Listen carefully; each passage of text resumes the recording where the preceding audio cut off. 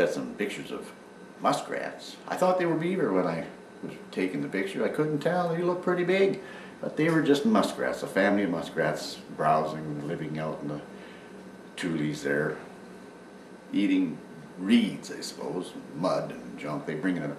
They knock each other up. They, they're playful little gaffers. And uh, yeah, it's wonderful.